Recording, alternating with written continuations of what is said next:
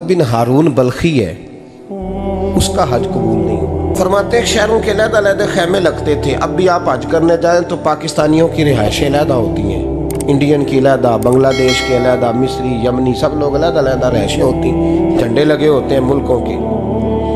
कहते मैंने सवेरे उठ के ढूंढना शुरू कर दिया। ढूंढता हूँ, वो बंदा मिले। कहते हैं, जहाँ बल्ख शहर के लोग रहते थे, वहाँ चला गया। तो मैंने लोगों से पूछा, तुम में मोहम्मद बिन हारून बल्खी कौन है? लोग कहने लगे, वो तो बड़ा नेक आदमी परहेजगार है बड़ा, बड़े भोले भाले, बड़े अल्लाह वाले।